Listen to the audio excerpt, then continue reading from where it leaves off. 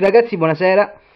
Oggi per la prima volta eh, parleremo eh, di un'ottica, ovvero fac faccio una piccola recensione su un'ottica eh, per la prima volta. Diciamo che nel mondo del, dell'area compress ormai diciamo che sono, entra sono entrato dal vivo e devo dire che anche sulle carabine sto riuscendo anche a farmi una breve cultura.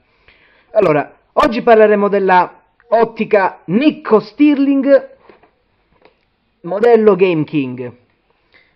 Quindi, abbiamo, quindi qui, questa è un'ottica che la marca è la Nikko Stirling e la serie è il modello Game King. Durante l'acquisto vi daranno questa uh, scatola, quindi apro la scatola, vediamo che cosa c'è dentro. Allora, quindi durante l'acquisto vi danno questa scatola e come accessori vi daranno un panno per pulire le lenti dell'ottica e un uh, piccolo manuale di istruzioni dove vi spiega come al massimo tarare, tarare le torrette eh, e più qualche, eh, qualche bipiede, insomma, abbiamo il binocolo. Allora, adesso prendiamo l'ottica dal vivo e voilà quanto mette a posto questo scusate. Un attimo di pazienza. Allora oltre al, al panno per pulire le lenti e al libretto di istruzioni in dotazione avremo anche il coprilente. Togliamo il coprilente. Quindi questi sono i coprilenti che abbiamo anche in dotazione che è un obbligo avere il coprilenti sul, uh, sull'acquisto di tutte le ottiche. Eh, allora, adesso vediamo, proviamo a vedere l'ottica nei minimi particolari. Allora, innanzitutto, come ho detto, l'ottica come marca della Nikko Stirling è un'ottica piuttosto mh, mm, economica. Il prezzo eh, che io l'ho presa da Caspani e l'ho pagata sui 72 euro, solo che adesso mi sono accorto che il prezzo è aumentato e adesso costa 79 euro. Eh, ovviamente c'è anche l'IVA che è inclusa. Allora, tornando ai particolari del, dell'ottica, eh, abbiamo innanzitutto qui abbiamo il marchio, il marchio della Nikko Stirling, poi anche qui abbiamo il marchio sempre della Nikko Stirling, Nikko Stirling la marca, poi qua dice Game King. E che altro più? Ah, qui abbiamo l'oculare, dove noi eh, possiamo vedere eh, l'ottica, eh, voglio dire, dove possiamo vedere attraverso il reticolo, quindi abbiamo l'oculare. Qui abbiamo questa, eh, questa ghiera e praticamente eh, la diottra. La diottra consente di eh, di, di, mettere eh, a fuoco il reticolo sul bersaglio, eh, voglio dire il reticolo. Qui abbiamo invece la ghiera, la ghiera per consentire di ingrandire. Questa ottica praticamente ha massimo 16 ingrandimenti, quindi è da eh, 4, 4 ingrandimenti che è il numero minimo poi abbiamo anche altri numerini, abbiamo il numero 16 che sta a significare che abbiamo fino a massimo 16 ingrandimenti, quindi 4, 16 ingrandimenti, mentre la grandezza del, mm, eh, dell'obiettivo è di 44, quindi 4, 16 per 44 AO 1000 dot. Allora, oltre alla diottra che abbiamo spiegato che cos'è, quindi abbiamo sempre la ghiera dello zoom, qua abbiamo eh, le torrette, le torrette sono di due tipi, abbiamo la torretta della deriva, in cui permette di regolare la mira verso destra e sinistra, e poi abbiamo la, la eh, ghiera, no scusate, voglio dire la, la torretta che regola l'alzo, che permette di regolare la mira da sopra verso sotto. Quindi le torrette, la ghiera dello zoom, la diottra e infine qui abbiamo il correttore di parallasse, ovvero la ghiera di messa a fuoco. Quindi il correttore di parallasse serve per mettere a fuoco il reticolo sul bersaglio nelle, nelle, distanze, nelle varie distanze. Qui abbiamo anche i valori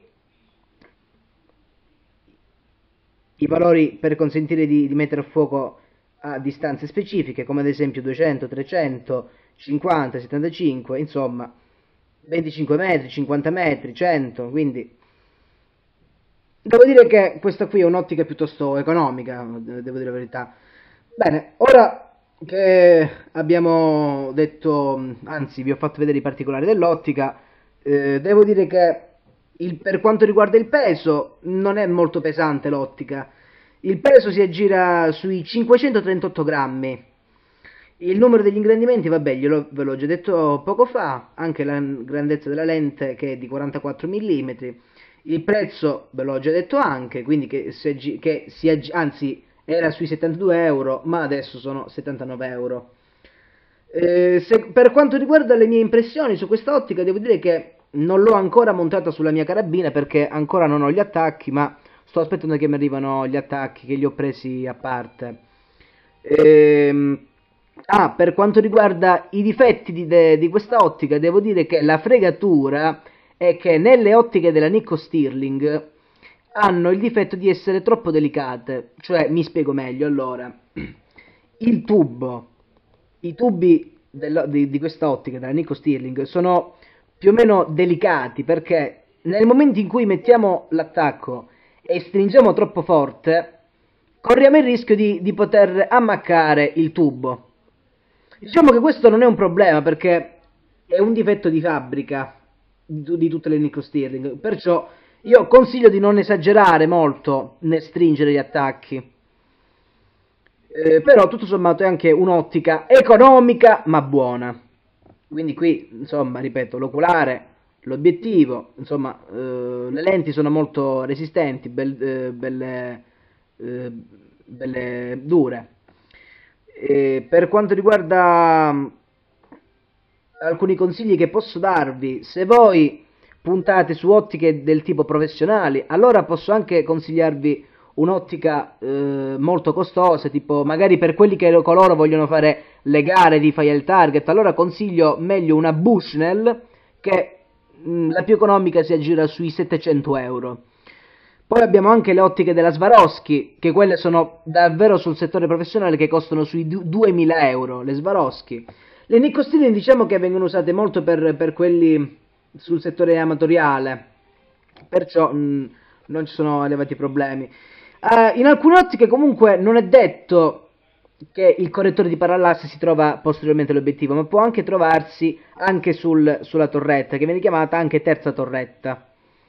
Eh, abbiamo anche altre ottiche economiche che possono anche soddisfare molto le vostre esigenze, tipo ad esempio la Blau Optic, che ha, alcune hanno anche il reticolo eh, illuminato e possono anche avere il reticolo inciso sulla lente, mentre su questa che sulla mia Nicostini devo dire che il reticolo non è inciso sul sulla lente.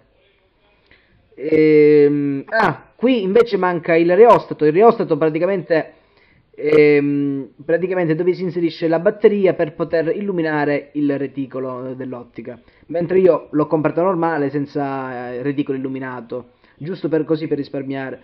Se magari un domani vedo di, di vendermela, non lo so, penso che per me sarà difficile magari mal che vada mi comprerò anche una Blow Optic e anche di quello posso anche farvi una breve recensione. E, insomma, io l'ottica ve l'ho presentata, mi sembra che ve l'ho presentata come si deve. Io spero che sia stato abbastanza chiaro e che mh, mm, insomma non, non, vi ho messo qualche dubbio a voi. Eh, di, insomma, di ottiche non capisco molto, però devo dire che qualcosina me la sono pure imparata. Vabbè, insomma, spero di essere stati esaurienti nei vostri confronti. L'ottica a me piace molto. Spero che qualcuno si sia interessato e magari può, possa anche comprarsela per, per, una, per la vostra carabina. Vabbè, io vi saluto. Se avete domande da farmi, contattatemi benissimo. Contattatemi pure. Insomma, siete liberi eh, di chiedermi quello che volete. Salve e buonasera a tutti quanti.